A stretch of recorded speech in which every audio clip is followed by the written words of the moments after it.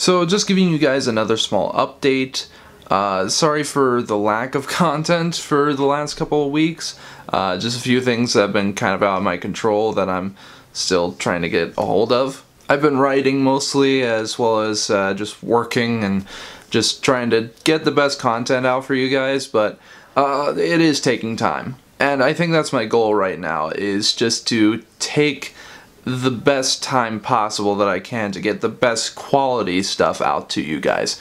I can't sort of rush myself. And if that means taking a few weeks off just to uh, get the best possible script for it or the best possible recording, the best editing for it, I will do that for you guys. So I'm gonna have to go back on my promise of trying to do at least one video a week because that doesn't seem entirely possible. Anyway, going to a few other things I want to say. First off, Part 2 of the Ascendance 3 review will be up soon. I'm still in a few writing phases for it that I just want to refine everything for the review just to make sure that it is the best possible quality for you guys. Speaking of like the Ascendance movies, me and Scott Stark are going to be making a small YouTube series together. We're going to be making a series called Matt and Scott's Guide to Low Budget Filmmaking. Basically what this series is going to be doing is looking at uh, different ways of doing filmmaking from any form of low budget to where it's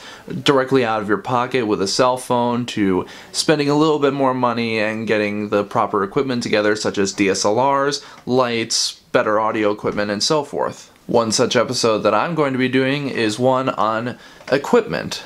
This, for example, is my shoulder rig that I use for my DSLR. It's an incredibly versatile piece of equipment that steadies your footage a lot better than you would if you were just to hold the camera itself in your hands. However, I'll get to that more when we get to the actual episode. Another thing that I'm planning is a couple of different short films that I want to make.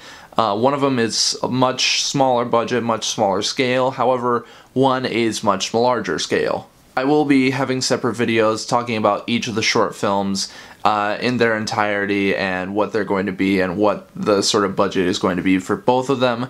Uh, the smaller budget one is just going to be basically out of my own pocket. It's just going to be small, sweet, and simple, and it's going to possibly be done within a weekend.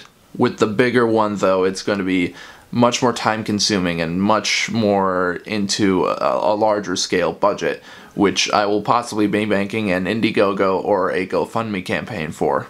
For all you guys that have been with the channel for so long, thank you for sticking with me. I started this channel nearly six years ago, and it's really cool to see how far we've come in that time. Shooting from a a really shitty, really shitty webcam in my bedroom to all the way here where I'm shooting 1080p on a DSLR, with now semi-competent lighting and decent audio.